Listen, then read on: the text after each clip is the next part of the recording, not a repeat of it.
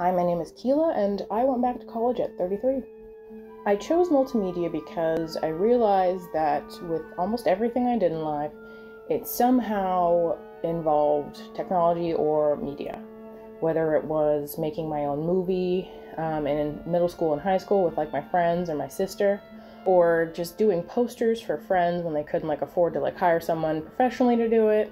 I've always liked creating things and creating media, especially. The thing about the multimedia degree is you have your chance to kind of dip your toe into like each different area of multimedia. So like game development has really been catching my eye lately. Uh, making assets, I really found myself obsessed with branding and logos, uh, packaging and product design for a while. Um, but I'm not done yet, and who knows what will happen within the year. One thing that's different about going to school now is I'm just so excited about everything I'm learning. One of my favorite things that we did was building a website. Another thing I love is that our professors have um, on-site knowledge. They've been in the field.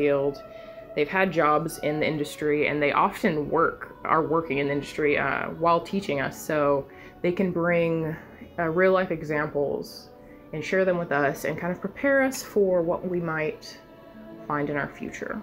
It's actually been nice to kind of be able to plan things, even though I'm not so great at it yet. It's been really nice to have, um, you know, a few weeks to work on a project and um, have a first and second draft and really getting critique has been so helpful. Going to school online has been, I have to be honest, pretty cool. It can be a lot, but um, it's really awesome to be able to, you know, work on some food while you're listening to a lecture that's not so hands-on, or you know, hang out with your cats. It's, it's nice. Um, I know it's not the same for everyone, but I I spent the last like 10 years in a really fast-paced, people-driven career, so it's kind of nice to have some inside time. However, I am itching to get your get my hands on some of the cameras and equipment that the department has.